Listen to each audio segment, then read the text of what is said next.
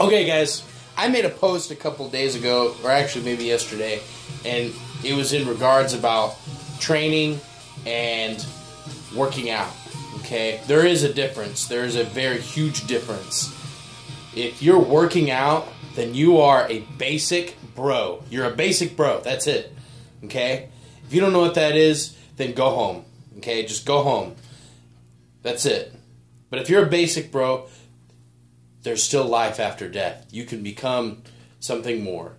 You start training and then you're not. Okay? So this is this is this is what the the difference is. If you're just working out, you're showing up to the gym and you may be doing the same thing over and over again. You don't track what you're doing. You may or may not remember what you did last time because you don't track anything. You just go in, you do three sets of 10 on bench, three sets of 10 on incline, three sets of 10 on pec deck, and then you go hit some dumbbell curls and some some abs, and then you're done. And then you come back two or three days later, you do it again. So, what I'm saying is, stop being basic. Start training. If you're training, you got a program. You're following something. You record what you're doing. This way, the next time you do that same split, you can know how much weight you used, how many sets, how many reps you used, your your rate of perceived exertion or RPE. This way you know how difficult it felt for you so you can improve every time. That's how you get better. That's how you get bigger. That's how you get stronger. That's how you get faster. Okay? Whatever your goal may be, design your program for that goal.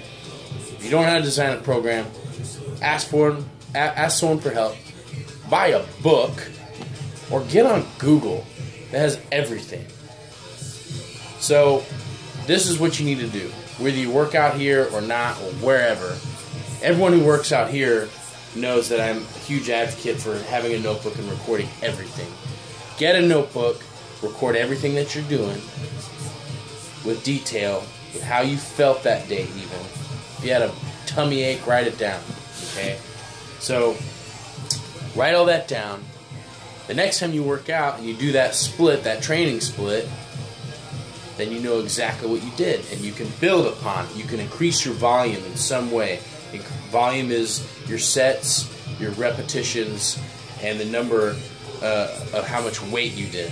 Okay, so you can alter that and go bigger and better things. So go and do that. Go work out. Get your stuff done. And stop being a basic bro.